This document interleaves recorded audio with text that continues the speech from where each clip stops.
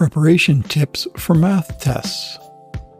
How to prepare for a math test. To ace your math tests, attending classes and completing all assignments is crucial. Pay special attention to completing all assigned problems. Take careful notes about what you did wrong and review the problems in class. Make sure the last solution in your mind is a correct one. This will help solidify your understanding of the concepts. Reviewing problems and practicing similar ones is key. Think about how each problem solution can be applied in real world situations. This makes complex solutions more relevant and easier to learn. Form a study group. Take turns presenting solutions and correcting each other's work. This collaborative approach enhances your understanding and helps you learn from others.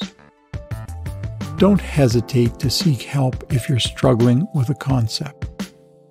Math builds upon previous material, so it's important to address any difficulties early on. Make an appointment with your professor or ask for a tutor.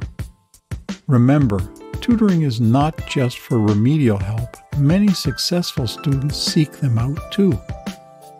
Seeking help shows your dedication to mastering the subject. What to do during a math test. Before starting the test, review the entire test paper and begin with the problems you feel most confident about. When approaching each problem, read it through twice to fully understand it.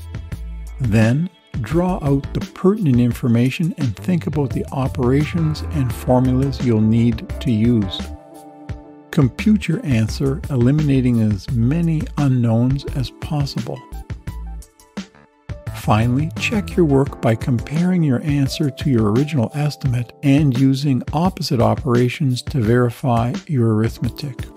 By following these preparation tips, you'll be well equipped to tackle your math tests with confidence. Attend classes, complete assignments, review problems, practice, seek help when needed, and approach each problem with a systematic strategy. With this strategy, you can succeed in math.